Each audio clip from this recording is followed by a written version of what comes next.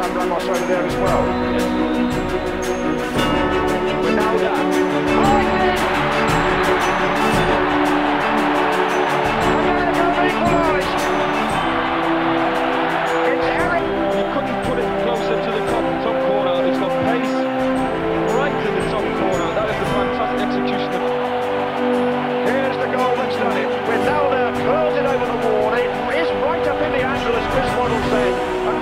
Was at full stretch, and he couldn't do anything about it.